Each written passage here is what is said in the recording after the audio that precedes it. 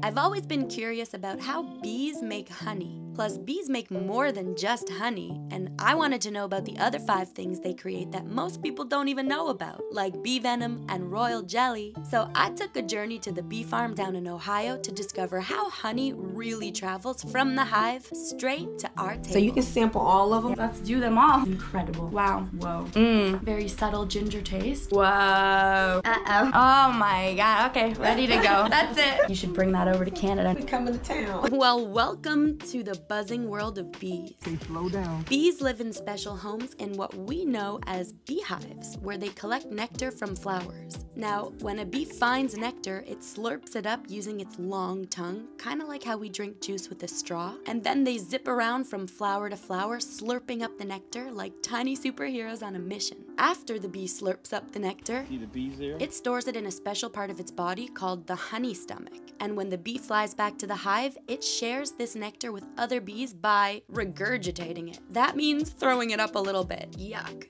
I know. But that's how they make honey. Once the bees have regurgitated the nectar into the hive, they get to work to turn that nectar into honey. Flowers are called Queen Anne's lace, and they pollinate them for its nectar coming. Okay? We're gonna take that smoker and we're gonna smoke their entrance. Okay? They flap their wings like crazy to dry out the nectar so it becomes thick and gooey, and this gooey stuff is what turns into sweet, sticky honey that we all know and love. Put a little bit of smoke right here. See how the bees react? We're gonna smoke that hole right there.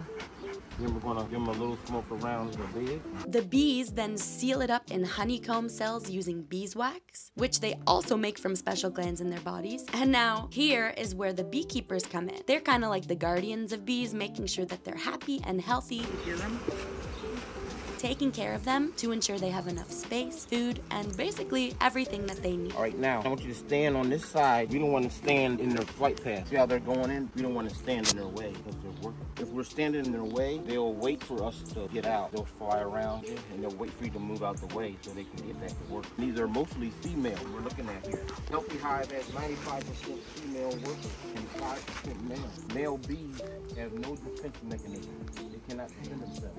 They have no stingers.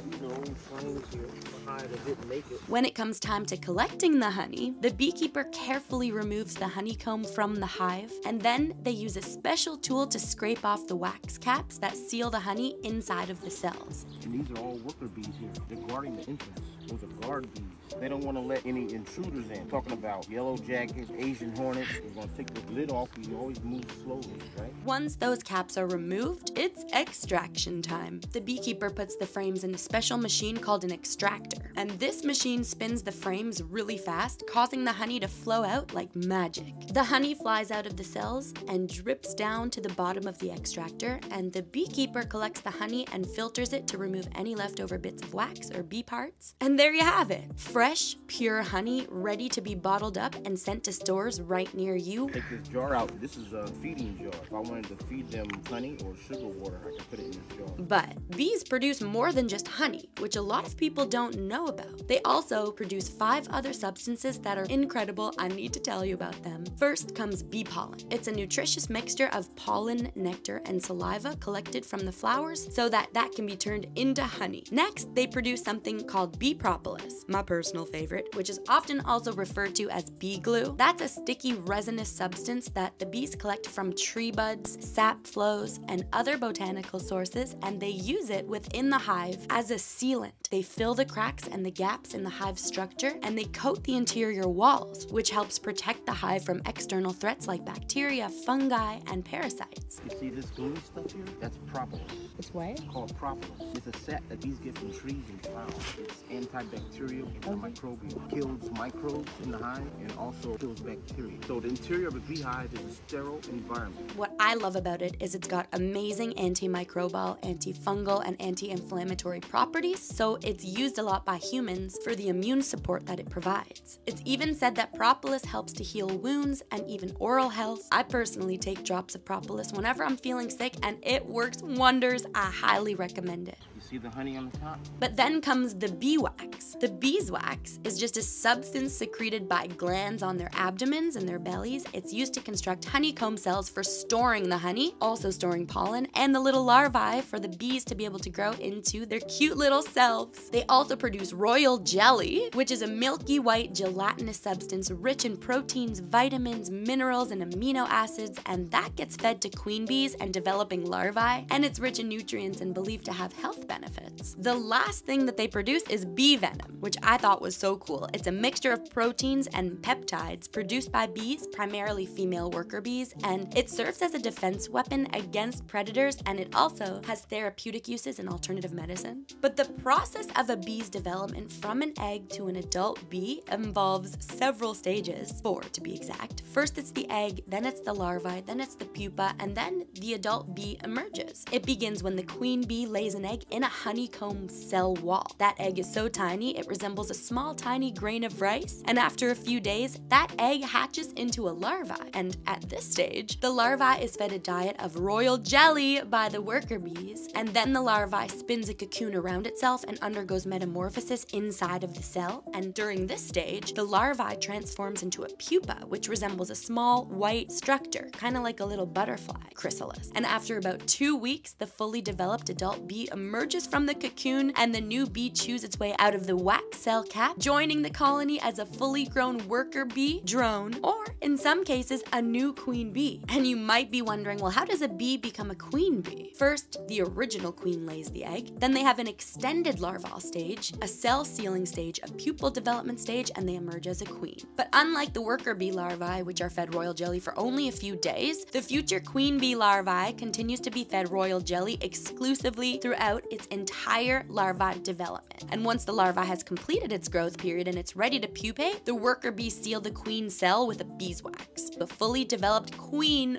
bee emerges larger, she's more robust than worker bees. The presence of having a queen bee inhibits the development of other potential queen bees within the colony. So if the existing queen dies or becomes inadequate, the worker bees will select young larvae and feed them royal jelly to raise a new queen. So adaptable, I love bees. But these bees and the products they make all play such vital roles in the hive ecosystem, and they've been utilized by humans for thousands of years for the many health benefits the bees provide to us. Ancient civilizations like Egyptians and Greeks and Romans utilized bees dating all the way back to 6000 BCE. So naturally, I felt lucky that after the bee tour, I was invited back to Linda's bee farm shop to taste some of the honey and see all of the amazing products that they make from their bees. And boy, let me tell you, I had a good time. Hi, how are you? We're here with Farmer Seth's wife, Adrienne. Hello, everyone. now, the bee pollen is known as a superfood. It's going to detox your liver. This right oh. here is Oh, our this is the good stuff. honeycomb. Hot pepper honey. My husband, the beekeeper, he uses habanero peppers. Ooh. Oh, the hot pepper honey is excellent on pizza. All the honey has wildflower in it. That's the flower that, he the bees get the pollen right. from? Yeah. So you can sample all of them. Let's do them all. So we'll start with Yeah, you tell blueberry. It's okay.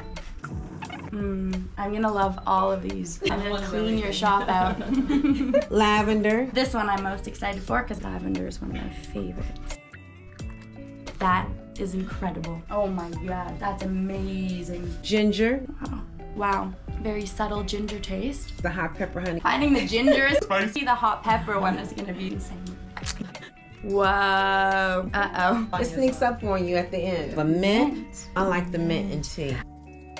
Whoa. I don't think I've ever tasted anything like that before. A rosemary. The benefits of rosemary plant are insane for so many parts of your body. It helps your hair grow. Ooh, that's nice. That's really good. Buckwheat. Ooh, buckwheat. I love buckwheat. You see how dark it is? We like that. Oh, yeah.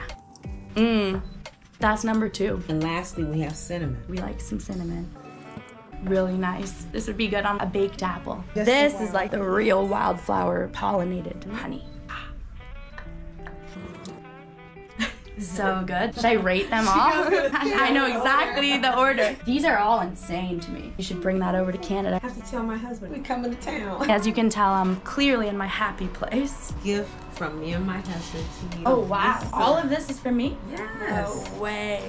Dude, that's so kind of you. It might have been the happiest I've ever been. I don't really know. But listen, next time you enjoy a spoonful of honey, remember to thank our little buzzing friends for all of their hard work and the beekeepers who help make it happen for us. And just remember that on this channel, usually we take the seeds from inside exotic fruits and turn them into full blown houseplants that fruit. But this week, we journeyed down to Cleveland, Ohio. Ohio raw. where we were welcomed into Linda's bee farm with open arms, had such an amazing time, and learned about how honey really travels from the hive straight to our tables at home. Thank you so much for watching my channel this week. It really is true that honey really is nature's sweetest gift. And the best gift that you could give me this week would be if you didn't forget to like, comment, follow, subscribe. Always remember that I love you. I hope you had fun with me this week, and I'll see you next week where we go on another awesome journey. Love you guys so much. Incredible. Wow. Whoa. Very subtle ginger taste. Whoa. Uh oh. Oh my god. Okay, ready to go. That's it.